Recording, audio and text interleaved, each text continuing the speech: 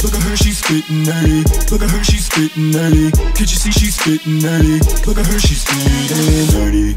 Good morning, friends. Today is meal prep day, and I am so excited. I am finishing off my keto experiment with kind of an epic keto meal prep, if I may say so myself. I'm doing keto pizza and keto pancakes and keto little like fat chocolate bites and it's gonna be delicious and an amazing way to end my little keto journey. For those of you who are more new and recently joined me, you're like, Marissa, what? Why are you quitting Go watch my best diet for weight loss video. I'll link it up there and down there. It explains all of everything, essentially. Keto's been good, but I think it's time to give it one last hurrah with some amazing keto food and move on. I am on my way to a farmer's market right now. You know how I was driving an hour to and from my butcher to get like free range, pasture, raised grass-fed, etc., whatever meat. Turns out that there's a farmer's market that's like four blocks from my house that has the same thing. So I've wasted a lot of time. I haven't compared prices yet. I don't know if the farmer's market is more expensive. It probably is. But like overall, if I save two hours of my day, sometimes three hours total driving, I'll pay a little bit more. I discovered this farmer's market a few weeks ago because I drove past it and I was like, what's that? That looks like a farmer's market. So I tried to go back the next week and it was closed and everyone was packing up and that was sad. And then I dragged my boyfriend to it last week and ended up discovering this amazing like pasture raised whatever farm that like brings their animals, not their animals, they're, they're, they're dead animals. They bring the meat to farmer's market. Um, and like we chatted with them and they were super cool and they really seemed to like really care about what they're doing and it was great. So we ended up buying bison and I am so excited about this. I think we're gonna have it for dinner tonight and we're just gonna make it like super basic and simple. Never had bison before. We've been talking about trying it for like six months. So when we stumbled across pasture raised, grass fed and finished, hormone free, etc. bison, we had to go for it. So yeah, really excited for dinner tonight. Gonna go back there to their little shop and get some chicken for my pizza, my keto pizza that's gonna be so delicious. I'm so excited. I'm gonna try to get everything else that I can the farmer's market and then I'll probably just go to like Whole Foods or Target or Trader Joe's to get whatever I can't get at the farmer's market. Oh, and quick side note about the whole like pasture raised thing, etc. I have talked about how I'm eating more red meat, but I think it is kind of important to note that at least as far as the research that I've seen, you really don't want to be adding more red meat to your diet unless it is like pasture raised, 100% grass fed. So grass fed and grass finished, not like grass fed and then grain finished. And you want it to be hormone free and like all the good stuff. Because when you get the meat that isn't pasture raised or is grass finished or whatever, you really start to lose the nutrients that are good for you in red meat. And you also start to increase the risk of all of the things that people are scared about with red meat. It's farmer's market time! My truck is literally such a mess with like different grocery bags, but uh, that's okay because we're saving the planet.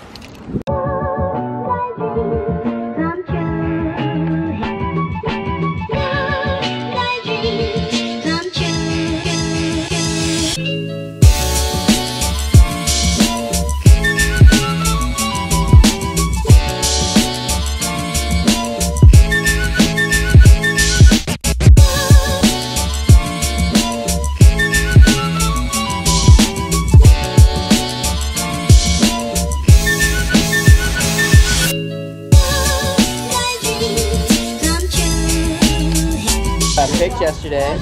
Um, no corn, no soy, no GMOs, no preservatives, no antibiotics. Actually above organic standards because we don't use any chemicals whatsoever. And organic foods are allowed to give you over 240 of those. I think I'm gonna take a dozen eggs because I do need eggs.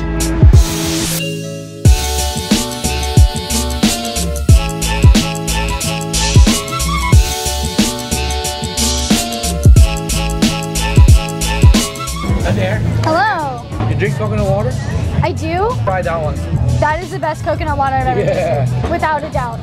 You're gonna like this one.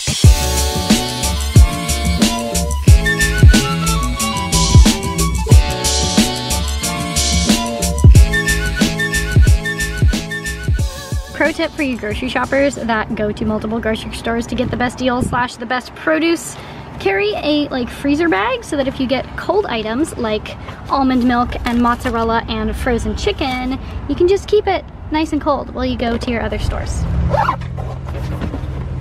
Grocery shopping accomplished. I had to go to Target to pick up a few things that the farmer's market didn't have, but that's okay. And now I'm going to wash my car because washing my car has been on my to-do list for about four months now.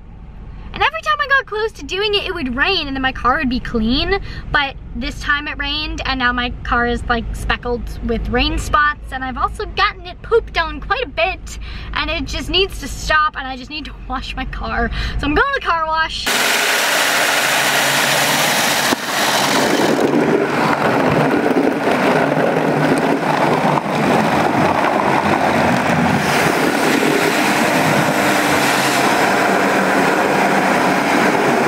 I just wrote my Science Sunday post that you guys will have seen already all about inflammation and depression. It's a really interesting article, so if you haven't seen that post yet, definitely go check it out. And I am waiting for my chicken to defrost, so I'm gonna do a quick little mobility session. I'm really sore from the workout that I did yesterday. I did like an insane HIIT circuit that like incorporated my physical therapy, which was kind of fun. It was nice to multitask and get out of there a little quicker. But I don't think I'm gonna be able to do anything super intense today because I'm, I'm pretty sore. So I'm just gonna work on some mobility.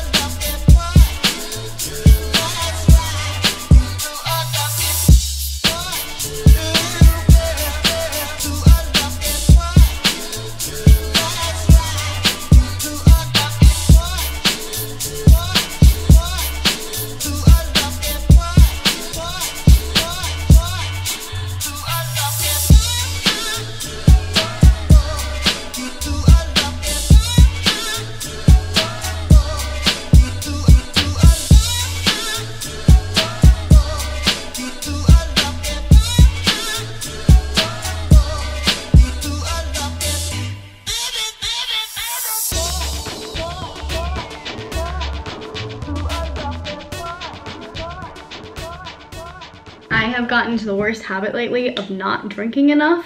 So I'm really thirsty right now. So I'm gonna have a Organifi a green juice. Try to drink all this and then fill up my giant water bottle and try to drink that today too.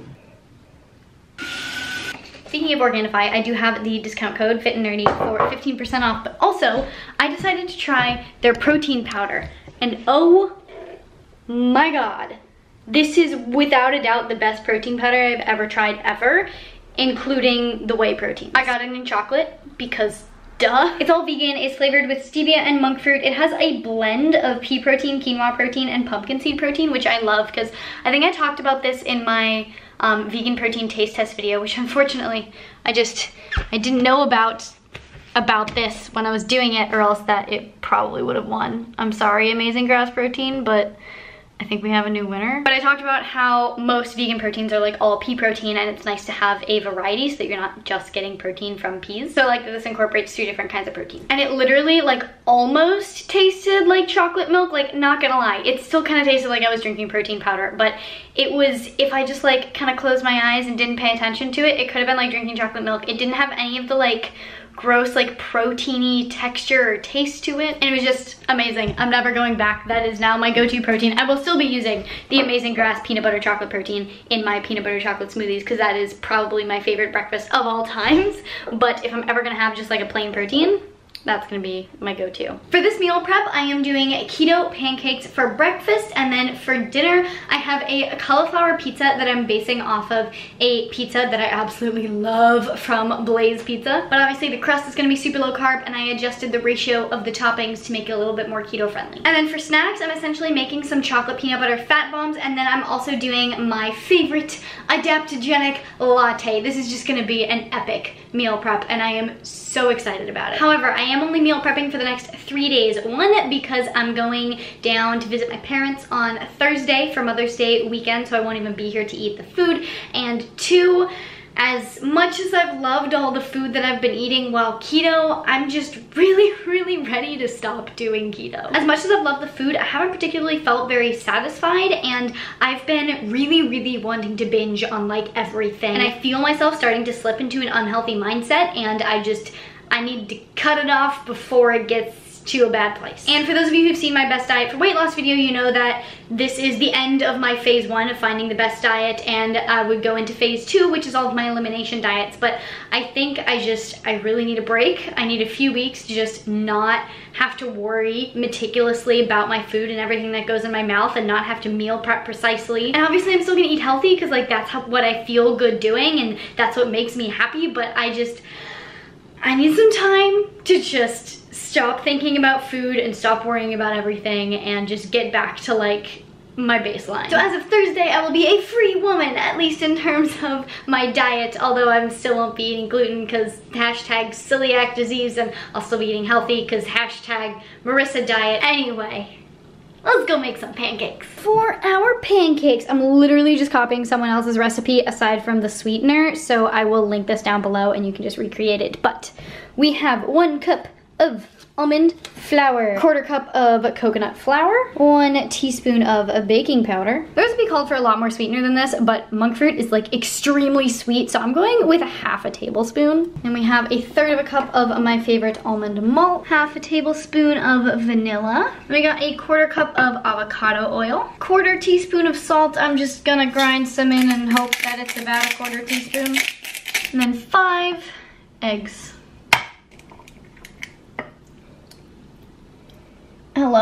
And then we're just gonna whisk it all together. The instructions said to cook these in ghee, so of course I'm using my favorite gold nugget ghee. Put a little bit in the pan, heated it up, and then put a few tiny little pancakes in there. So while the pancakes are cooking, I decided to start prepping my chicken, which is going on top of my pizza. So I literally just put some extra virgin olive oil, salt and pepper on there and stuck it in the little nifty grill and it does it all by itself. I'm making myself a tiny pancake with the leftovers. I'm really excited to eat it. Here's the deal for a wonderful pizza. What you see on screen right now is the pizza that we're trying to recreate. Whenever I go to Blaze, I get that pizza and take off the red peppers and then I add artichoke and I usually add red onion, but my red onion is like frozen because it was in the back of my fridge, so I have a white onion. For our crust, we are using the Cali'flour Foods cauliflower pizza crust in the original Italian flavor, and I am obsessed with these ingredients. Literally just cauliflower, cheese, eggs, basil, and garlic. That's it. There's no like fillers, no preservatives. A lot of cauliflower crust will actually add like gluten and other flours to make it crusty, but then just put in cauliflower can call it cauliflower crust. But this,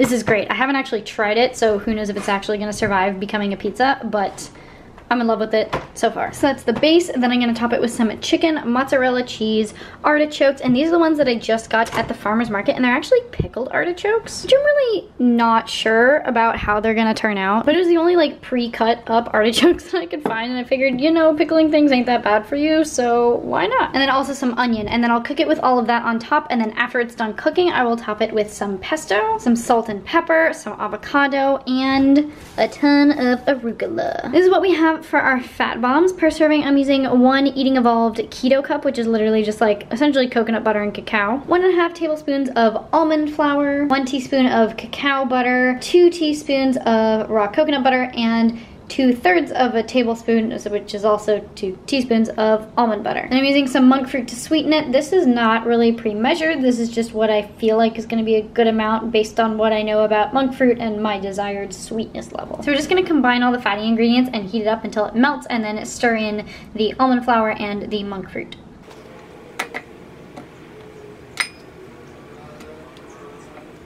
Change of plans. Last time I made this, I'm pretty sure I made it with peanut butter, not almond butter. The peanut butter melts just fine. The almond butter is staying chunky. So instead, I'm putting it in my blender and I'm actually gonna add a tiny splash of raw cream.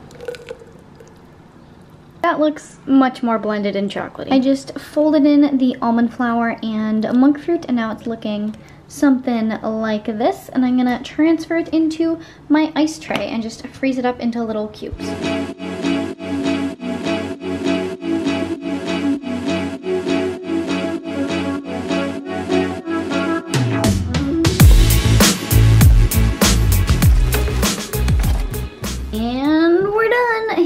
We got for meal prep for breakfast. We got le pancakes. A little snack probably for dessert to go along with my adaptogenic latte. We got the little chocolate bites. For din din, we got the cauliflower crust topped with chicken, onion, pickled artichoke, and mozzarella cheese. Just put some salt and pepper on there. So that's all gonna go on top of that. And it's gonna go bake in the oven. And then gonna top it with avocado, arugula, and pesto. This is future Marissa stepping in to say that this pizza, oh, oh no, I dropped a piece of chicken. This pizza is so good. The crust actually holds together. Like I cut it into a slice. I wouldn't I wouldn't trust it to just stand out there on its own, but like for cauliflower crust, this is incredible. And it all just tastes so good. It's amazing. I love it. So I decided not to meal prep my adaptogenic lattes because, because, because, because, because, because, because Four Sigmatic just came out with some new products. And yes, this is this is my Four Sigmatic box. It's a little crazy, but it, that's what's going on.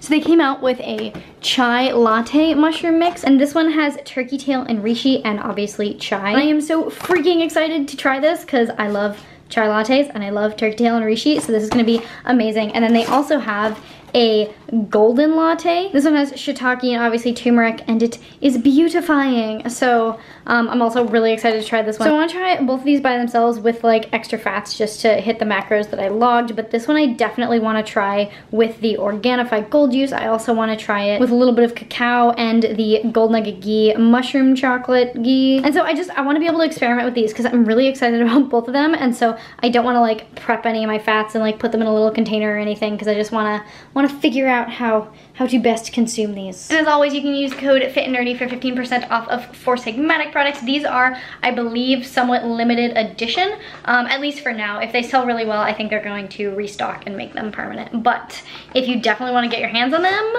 I suggest buying them ASAP in case they do sell out and they don't restock. It's bison time! We just cooked up our bison. Looking pretty good, if I may say so myself. I've got a little side salad, which is arugula kale, some avocado, and a little bit of my extra virgin olive oil dressing with like lemon and stuff. And then we have artichokes cooking over here, and they're just taking kind of forever. The guy said that they would take 45 minutes to cook. It's been about 45 minutes, and they're still like very tough. So it's gonna be a two course meal, because uh, these are just taking away too long. So we've just been doing crossword puzzles for like the last 45 minutes and we're stuck on like the last four. 52 minutes. Wait, we've been on this one for 52 minutes? 52 minutes and 45 seconds. That's ridiculous. Guys, we suck. we have like four left and we can't figure it out. Yeah, I T T. This is so funny. Perfect. Did it work? Yeah. Oh my God. I mean, that's what I do. That's my strategy. Just make up words until something. Got an artichoke. It's really hot. Oh no. Are you gonna die? Let me young Oh no. Call him back, call him back. Hey, what's seven across? Indian flatbread. It's R blank T blank. I have no idea. So that dinner was absolutely delicious and amazing and I will definitely be having it again but a bison is, is a little little expensive so won't be having it super often. I really wanted to try the uh, golden milk latte from Four Sigmatic tonight but I am just so full. Like I ate so much for dinner. I had that huge salad with half an avocado. That was at least like five cups of greens. Then with some dressing and artichokes covered in ghee and lemon juice and the entire ribeye steak. That was delicious. So I'm too full to have the golden milk, but I will definitely update you guys when I do try it and let you know how it is. But for now, we've just settled into bed to watch Fantastic Beasts and Where to Find Them because we have been marathoning, not really marathoning, but going through all the Harry Potter movies in order. And so I wanted to tack this one on at the end because, you know, it's kind of, it's kind of part of it kind of. I hope you guys enjoyed this video. Please do give it a little thumbs up if you did because it really does support me and my channel and I really appreciate it. Please share it with all of your friends and your family and your bison loving neighbors and subscribe for more videos and hit that little notification button so you don't miss any future videos and I will see you very soon. Bye.